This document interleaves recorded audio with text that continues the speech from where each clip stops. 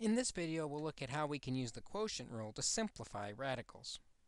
The quotient rule simply says that we can reduce the coefficients outside of the radical, and we can also reduce the numbers inside the radical together. Another way of thinking about that is when we see the problem 15 cube root of 108 over 20 cube root of 2, we can think about the 15 over 20 as one fraction, and then under the cube root, we can think about 108 over 2 and reduce those individual parts separately. Either way we look at it, they're both the same. 15 and 20 can both reduce by dividing by 5, giving us 3 and 4 left outside the radicals.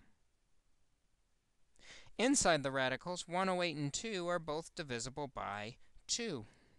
108 divided by 2 is 54, and 2 divided by 2 is 1. And we get the cube root of 54 over 1.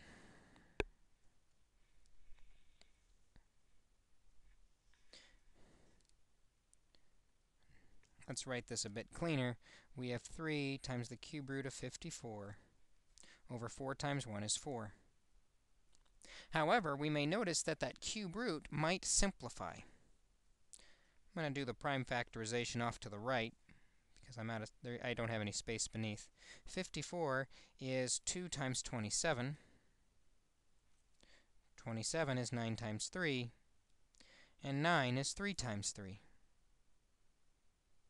You may notice, because the index is 3, we're looking for triples.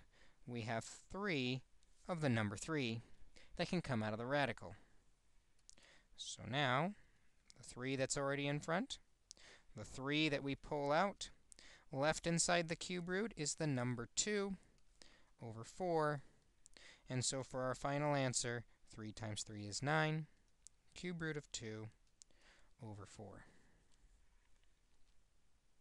That's how we can use the quotient rule to help us simplify with radicals.